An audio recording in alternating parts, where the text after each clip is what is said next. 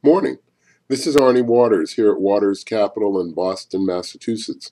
As we look out at the world today, uh, we're seeing the U.S. stock market has been in decline for a while.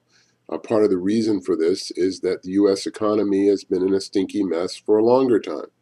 The fact of the matter is that the only answers which would produce a positive return in the United States are to get people employed. The Republicans are never going to agree to any kind of stimulus package the Democrats have lost control of the House.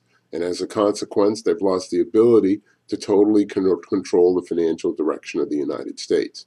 So the United States continues to suffer, will continue to suffer, in our opinion, for the next four to five years. Uh, we don't really see any way out of the present morass unless there's some agreement uh, to cap the deficit and uh, control its growth and to move on into actual reduction. The interesting thing is, there's been some polling in New Hampshire, which is, as you know, no new taxes, no income tax, hotbed of right wing fascism. The fact is that in New Hampshire, people are saying that if we have to use it to get out of the deficit, they'd rather pay taxes than cut services and cut programs. And that's astonishing to me. So it tells you once again of the deep disconnect between what's going on in Washington and what is going on in the real world. Most people, like us, are aware that many, many people are losing their jobs and homes, and nobody seems to give a darn about it. And I keep repeating this point, and I, I picked this phrase up of political theater.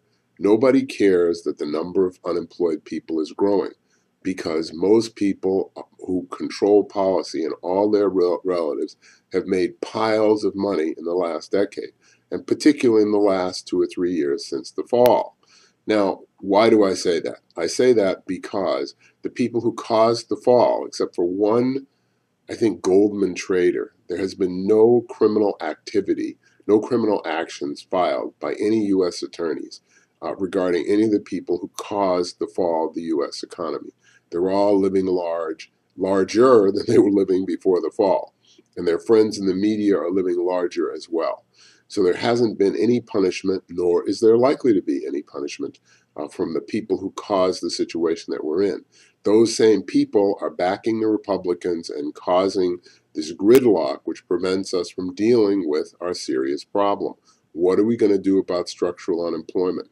What are we going to do about the growth of uh, economic division in this country. Forget about what's going on in Europe and what's going on in England. In this country, we're ceasing to be an actual land of opportunity. We're becoming a land of, if you've got the right connections, you can get ahead. That's called crony capitalism. So before I continue too much in this direction, let me say this. Over the next little while, we're going to see a dramatic increase in the price of gold.